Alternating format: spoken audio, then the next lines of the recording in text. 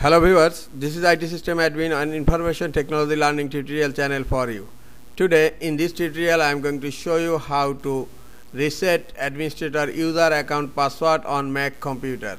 Sometimes it become very important for you so don't forget to watch full video.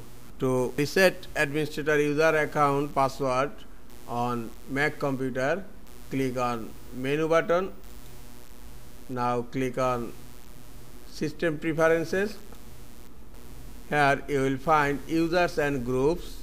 You can access from here. Click on users and groups or in search you can type users. Select users and groups. Now first of all you need to unlock to make changes. Currently it is locked. Click on the lock and set your password click on unlock.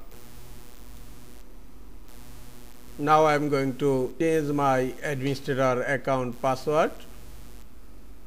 My admin user is selected.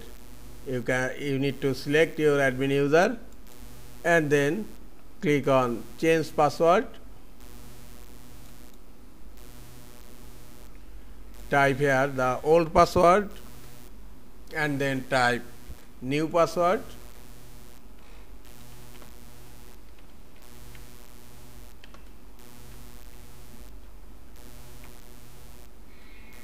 again type new password to verify